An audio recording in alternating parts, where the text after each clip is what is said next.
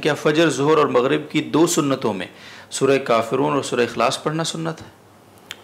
हाँ जी जहर का ज़िक्र तो किसी रवायत में नहीं है लेकिन फजर और मगरिब के बारे में रवायात मौजूद हैं और सहाबा कराम रज़ी अल्लाह तुम के बारे में कई सहाबा कराम के आसार अल्लामा इबन कसीर ने नकल किए। जी।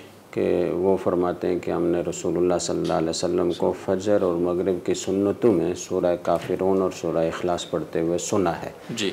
तो इसलिए इसको मसनून कहेंगे, लेकिन इसका भी ऐसा इल्तज़ाम नहीं करना चाहिए कि कभी इसके ख़िलाफ़ दूसरी कोई सूरतें न पढ़ी जाएँ। अक्सर मामूल ये हो और कभी कभार दूसरी सूरतें भी पढ़नी चाहिए। सही।